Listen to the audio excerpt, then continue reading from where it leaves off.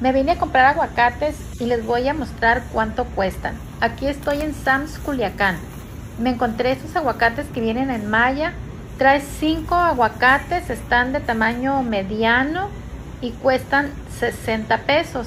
Se me hace muy buen precio y están de una calidad aceptable. Creo que salen mejor que comprarlos en Ley o en otros lugares que he comprado. Pero de aquí me fui al Costco. Me encontré con esta malla que trae 7 aguacates grandes.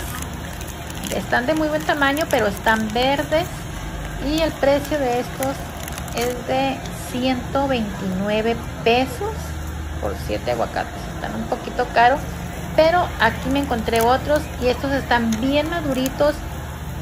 Estos aguacates son orgánicos y también son 7 estos aguacates están para comerse hoy porque si los dejas para mañana ya se van a pasar de maduros. Cuesta 169 pesos. Yo me traje los que están más verdes y lo que hago es que los meto al horno de la estufa.